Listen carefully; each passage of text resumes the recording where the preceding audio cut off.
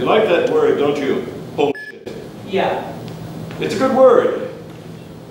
You going skinny dipping? No. You? No, I try to be selective about who I flash in front of. Oh. Chelsea says you're a real heavy-duty fisherman. She calls you the old man of the sea. I've caught a few. You fish? No, Wanna go sometime? maybe. Well. What do you think about your father? To tell you the truth, he's not bad. And why do you walk around with your shoulders all bent like that? I have a lot on my mind. Ah. Well, what do you do in California if you don't fish? I mean, what does one do for recreation if one is 13 and not in school?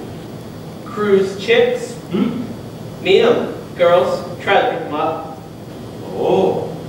And what do you do with them when you have them? Suck face. I beg your pardon. No, kiss. Suck face, kiss. Oh. Have you ever read this book? Swiss Family Robinson. No. Go up and read it.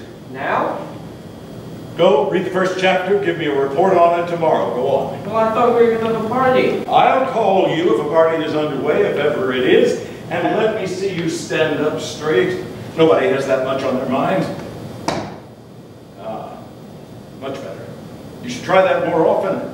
It'll make it much easier to bear your heavy load.